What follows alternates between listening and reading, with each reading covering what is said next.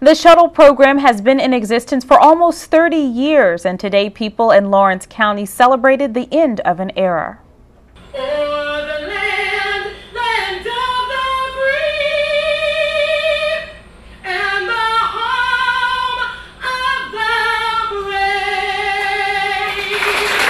About 300 people gathered at the Girls Club in Lawrence County to pay homage to its rich history of producing individuals who travel to space.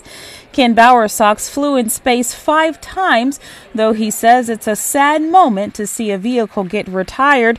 It's also great potential for the future. The space shuttles did great things. We learned a lot about what was possible to do in space. If you think about all the different missions that space shuttles flew, you'll see just about every type of mission that could be conducted in the future has been conducted on a space shuttle.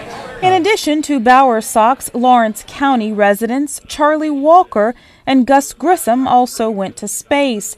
Bedford Mayor Shawna Girgis says that's rare for such a small community. We wanted to really celebrate that, and I think what it does for our community is it really inspires young people to reach for things that maybe they wouldn't have considered before.